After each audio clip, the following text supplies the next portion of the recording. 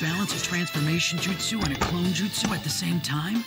There's no way he should be able to do that. Able to do that. An interesting one. It's not every day you see a shinobi who would bite his opponent. Wasn't that amazing?